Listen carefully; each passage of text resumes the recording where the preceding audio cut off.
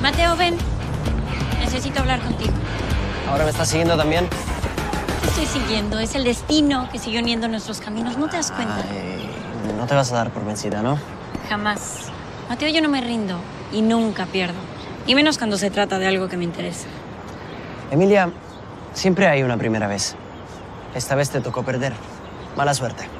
Nos vemos. Estás muy equivocado, Mateo. Este juego apenas empieza y siento mucho decirte que vas a tener que jugar. Perdón, pero ¿de qué estás hablando? Quiero que salgas conmigo, Mateo. Es un chiste porque yo ya te dije que no siento nada por ti. Mira, si lo dices por Luna no me importa y ni te preocupes que no se tiene que enterar.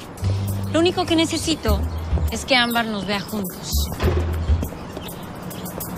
Perdón, pero Ámbar, ¿qué tiene que ver? Le aposté que te iba a conquistar, ¿ok?